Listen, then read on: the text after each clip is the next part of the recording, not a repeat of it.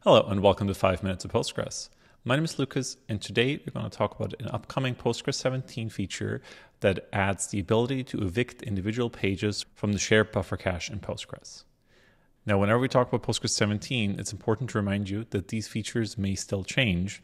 So there's a chance that this API changes until the final release, or sometimes features get reverted because there were unforeseen issues with it. Now, additionally, for this particular feature, I want to say that this is intended for developer testing. So this functionality, authored by Palak Chaturvedi and committed by Thomas Munro, is intended for Postgres developers that are testing the shared buffer cache behavior.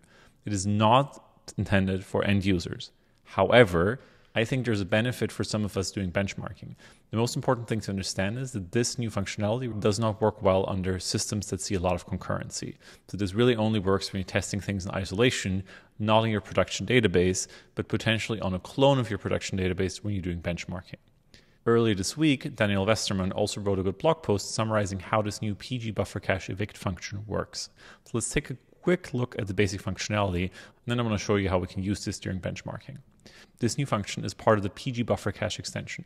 If you're not familiar with PG buffer cache, it essentially shows you the contents of the internal shared buffer cache that Postgres uses to cache the data in your tables directly in the Postgres shared memory. This is in addition to the operating system's page cache, which also caches your tables in certain cases. So this is why Postgres has this double caching, and this can sometimes be a little bit confusing. So to be clear, we're talking about the internal Postgres cache here. Now the new PG buffer cache evict function is pretty straightforward. It takes a single argument, a buffer ID from the buffer cache, and then it removes that page from the buffer cache. Now, obviously, as mentioned in the commit message, there's a concurrency issue here. So buffer cache might change. You query it first to get the buffer ID, and then some other process in Postgres might choose to do something with that buffer, and then you're essentially evicting the wrong thing. So again, only use this during testing. But the benefit here is that now we can say if our table is loaded in the shared buffer cache, we can now explicitly remove it from the shared buffer cache to be able to test caching behavior, for example. So I want to show you how this works. So I have an EC2 instance running here with an EBS volume attached. I'm going to come back to why that matters in a second. Now we're going to connect to this and we're going to make a table. So the table here is pretty straightforward.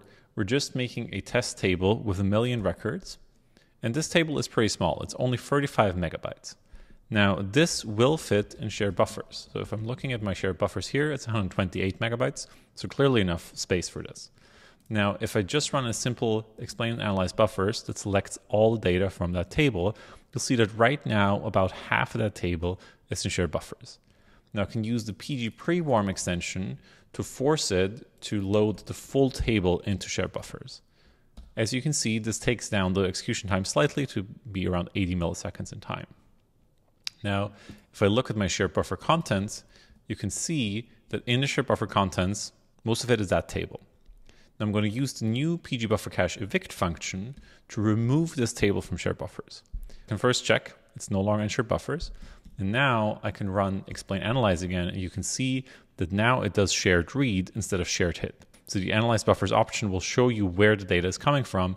In this case, when it says read, that means it goes to the disk or the OS page cache. In the case of hit, it goes to the shared buffer cache. Now the performance here didn't really change, and that might seem surprising, right? Because things are out of cache. Why, why is it still fast?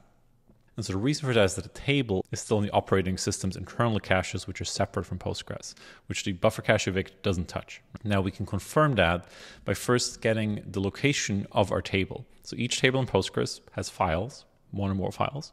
The main file for this table is in this location. And so in my virtual machine here, I'm going to use the fincore utility, which is built into Linux, which counts how much of a particular file is in the operating system's page cache. So this file here has 35 megabytes, matches our table size.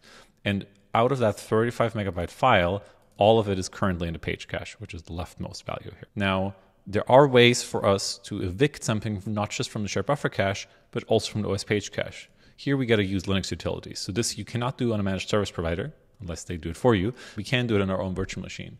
And so I didn't know this before I was researching this episode. We can use the DD utility to evict things from the OS page cache for us. The magic flag here is this O flag no cache. What this will do is it will tell the Linux kernel, hey, this file is no longer needed. You can drop it from the OS page cache. We can confirm this with the fincore utility, so the file is still 35 megabytes in size, but none of it is in the OS page cache. Run another test here, and let's just evict the buffer cache one more time. So right now, nothing in the buffer cache, nothing in the OS page cache. Let's see how long our explain analyze buffers takes. 237 milliseconds, right? So this is a big difference between the 83 milliseconds we saw earlier, even though we got shared read, which means Postgres didn't have a cache hit, this was still fast because the OS page cache had a cache hit.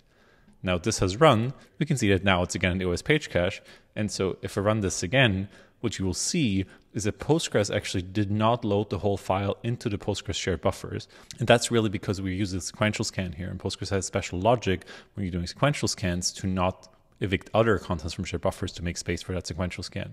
And so what you're seeing right now actually is that all of this data here is still coming from the OS page cache for the most part.